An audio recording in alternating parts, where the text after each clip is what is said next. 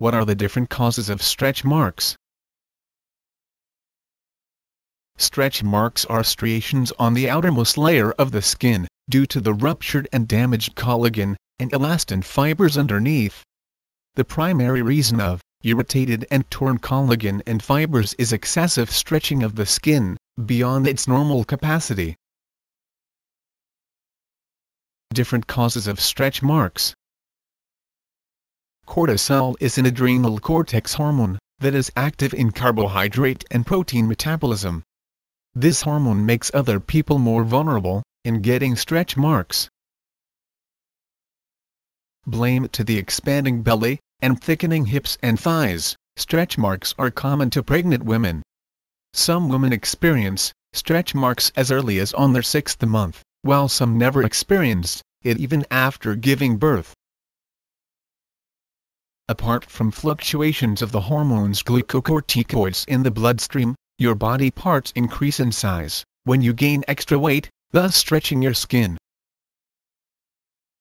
Obesity is considered to be more than average fatness. In here, your skin is stretched more than its limit. Thus, tearing your elastic fibers and supportive collagen located in your dermis, and spreading your epidermis thin and weary.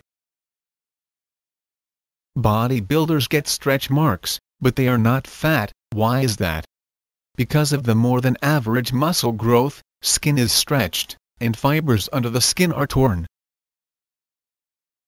This is the period of growth spurt, where body parts of adolescent boys and girls expand and grow in size or thickness.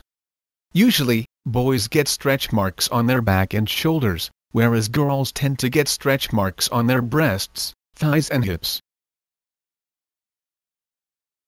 These creams help to provide relief, from inflammatory dermal conditions, but it can also decrease the amount of collagen from the skin.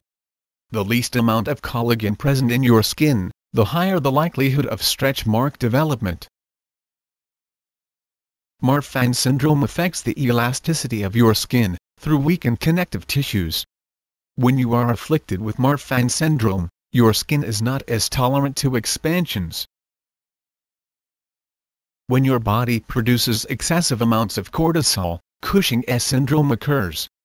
Cortisol, just like corticosteroids, is the hormone that increases the probability of gaining stretch marks. A lifestyle of inadequate water intake, and excessive salt, sugar and food preservative consumption, will likely lead you closer to stretch marks. Please see the link below to know more about stretch marks and details.